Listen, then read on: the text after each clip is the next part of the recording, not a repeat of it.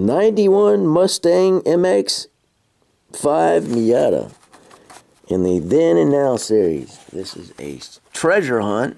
It's a 1991 Mazda Miata. Those were pretty popular back then.